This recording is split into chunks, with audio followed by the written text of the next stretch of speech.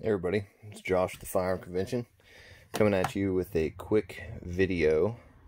Um, just got a box in, obviously, from Accurate Molds. I did a video on them a little while ago where I didn't showcase their molds exactly, but I, I talked about their molds in comparison with Lee and what other and others. I ordered these bullet molds, I want to say two weeks ago, and there's three of them in here. And uh, yeah, I mean, I had to take off my address. There's some weird people in the world. Sorry if I offend somebody, but it is what it is. So, just pretend that says at the firearm convention. Alright, so this is a sealed box. I haven't done anything with it. As you can see. So, let's go ahead and crack this baby open.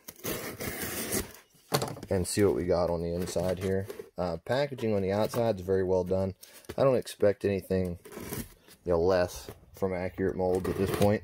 But for those that are, you know, unfamiliar with the brand, I figured this would be a good opportunity to show you how this stuff shows up at your door. So, you know, standard newspaper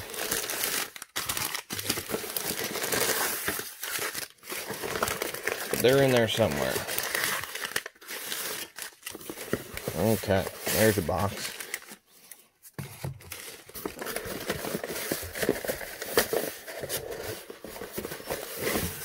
There's a box. There's a box. Okay. So, get all this stuff out of the way. Just toss it down there for right now. And we've got three boxes with three separate bullet molds in them. So each one of them is sealed individually, you know, so that they can't come open during shipment. Okay, let's open number one here. And this is half of a mold. It's wrapped in brown paper. And he, I like that he ships them separate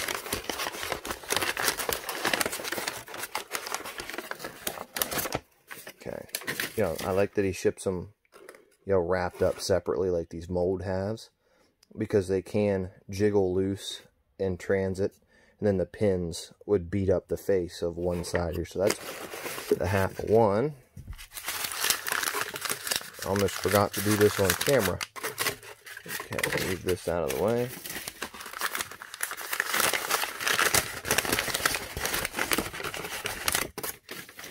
There's the second half okay? Um, pretty much what I come to expect from Accurate. This one it's beautiful. I mean look at the look at the vent lines on the sprue plate you know or underneath the sprue plate. A lot of guys don't put that on there but it really does help with base fill out you know to get those nice perfectly square bases. These bases guys are so sharp that you could almost peel skin off which is just awesome um, this is the 36 230D. And basically it's a 360 diameter, 230 grain. And the D designation is his designation for the um, what 230 grain 36 caliber bullet mold it is. Basically, let's see if we can get this to focus. This one is for the 358 Winchester. Pretty solid design you know, we're going to see what it does in the 358. So, there's that guy set aside. I'll pull them all out here in a little bit once we get them all opened up. Um, all of them are going to be aluminum. You know, we didn't get any brass or iron. Mainly just due to cost. I mean, they're not necessary. This one, I think, is going to be the 5 cavity.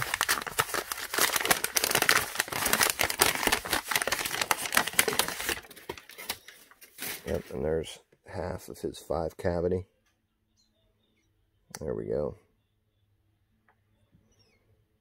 You know, and again, most excellent, you know, design. I mean, I mean, it's just, it's just beautiful.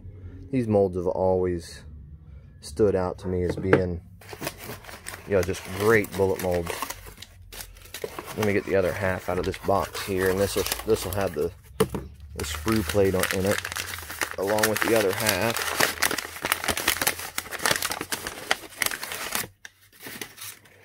There it is. These two go together as such. Nice and easy. Now this one has the trough style plate. Let me show you the difference here real quick. See how see how this plate doesn't have a bridge between the two holes. They're separated. This one has a trough. Let me see if I can get her to focus. There she is. This one has a trough cut in between the, the, the sprue holes. And that's, you know, so that when you're when you're pouring this one, you know, your pours here, and instead of doing pour, stop, pour, stop, pour, stop, pour, stop, pour, stop, you do pour and just let it continually flow as you run it through the holes. Pretty, pretty solid in how that works. Now on this one, this one is the 35129E. And this one is basically a truncated cone design. I mean, just look at how quick they fall apart. It's a, they're freaking awesome. And basically, it's 130 grain bullet mold. And this one has a, it's for the, like, tight throats of 9 millimeters. You can see a step right there. Let me, let me get a pointer here. You can see a step, like, right here right there. That's like for tight throats. You can see it really good on this one right here. For tight throats. I actually spec this to be a few thousand smaller than here. You know, and, and a few thousand smaller than what he designed it as. Because we're going to powder coat this. So I wanted that extra small. That way when we raise, when we put on the powder coat, we don't um, run into tolerance issues there we go. We don't run into tolerance issues after we've added two to three thousandths worth of powder coat potentially. But the rest of them, know, the rest of it, we basically got it squared away. Now this one is going to be another two cavity mold. This is going to be one of his 30 caliber bullets. And this one is of my design. But again, on the face, and in there. This one is, like I said, of my design, and it is a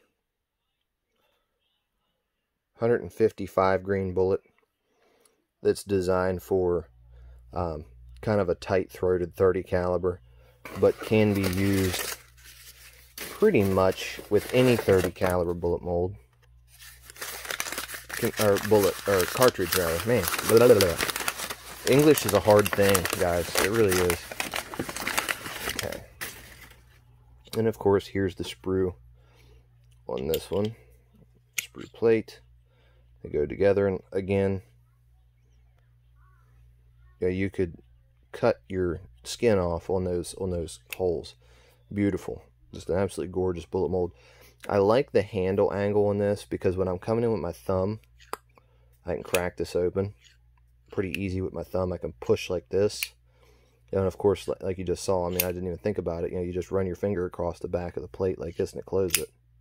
You know, and then push away with your thumb with the block and it'll crack them open. Beautiful, beautiful design sprue plate. Um, awesome bullet mold. You really can't get much better than this. Let's get them all in a family photo here real quick. And then we're going to move on to one other thing that we got in the mail another shout out to a gentleman that uh, I just can't can't say enough about. Okay, so this one is a slightly different design sprue plate. I'm sure you saw that, and I wanted to bring that up real quick. This one, because it's got five, this one is a more angular push. You couldn't push it like this with your thumb and get it to break. So you're going to have to come in here and pop it like that. And also, you know, and I don't condone it, but for those that do, yeah, you can come in here and tap here, right? But, and the reason why I don't do that is because you're putting a lot of stress on this pivot pin as you hit it.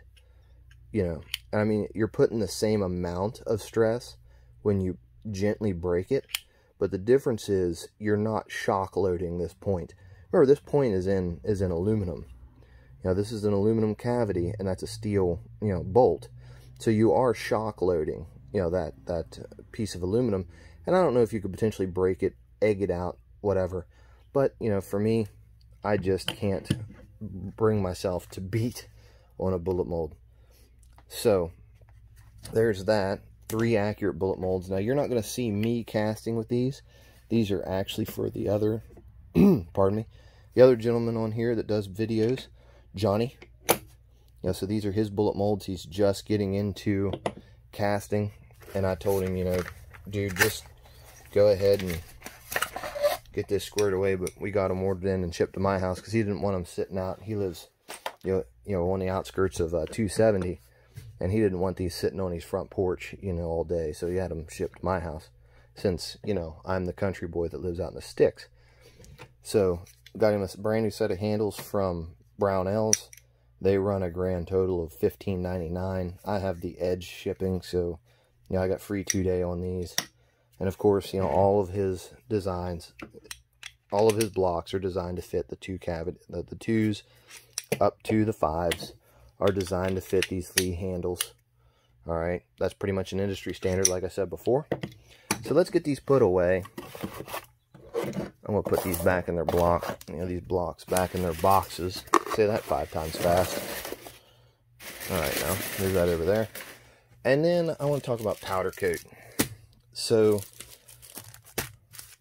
we went ahead and ordered some powder coat as well.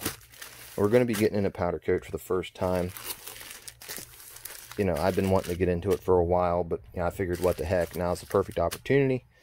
So let's talk about powder coat. This powder coat comes from a gentleman on the Cast Boolits website called Smoke 4320. Basically, he's a he's a direct retailer of powder coat. Um, and this was, you know, I got two pounds of powder coat. Of this, I, I called him up, and his phone number is on the website on on the the Cast Boolits for him. I'll put a link to his product, you know, in the description so that you guys can find him. But, you know, his phone number's on there and I called him up and I said, man, I said, I don't, I don't, uh, know exactly what colors I want. I had told him the method that I'm going to be using. I said, yeah, I'm just going to do the shake and bake, you know, with some, with some, you know, BBs, with some of the airsoft BBs. And I said, you know, I know all your colors are pretty pretty well, you know, tested, but if you do seem to have any like really standout colors that are really easy to coat with, could I get you to send me, you know, a sample pack of those? And basically sent me a half pound of each one of these. It's called Orange Brown, Signal Blue, John Deere Green, and Wine Red. And he'll do this in single packs, or, or, I'm sorry, in one pound boxes. You know, you can get all of it in JD green, all of it in blue. You know, pick your color. You can get as many pounds of it in a singular color as you want. Um, but, you know, I wanted to kind of sample it, and so did Johnny, so we kind of just got a, a smattering. If you only order one pound for no additional charge, he will give you three colors you know, and you get to pick your three colors. And he'll put them in third pound boxes instead of half pound bags. You know, he'll put them in third pound bags. All these bags are double bagged, you know, Ziplocs, so they don't, you know, they won't, uh, you know, bust in shipping. And his packaging was really good as well. But that's just something I wanted to give a shout out to that gentleman. Absolutely wonderful customer service. Uh, great guy to deal with. And for one pound of powder shipped, and this is where it really is a good thing. You know, he'll do all that for you. Plus, one pound of powder shipped is going to run you a grand total of like $24, $25, I think it was. And while that sounds high, a pound of powder, a pound of this powder is going to do probably 12,000 bullets. And you can get it in three different colors for no additional money you know, if you go anywhere else, you're going to have to buy three pounds of powder to get three separate colors plus shipping. You know, so the, the savings there, if you want to do, you know, some other colors is pretty high on the list. It's pretty, pretty well out there. But anyway, guys, I appreciate your watching the video.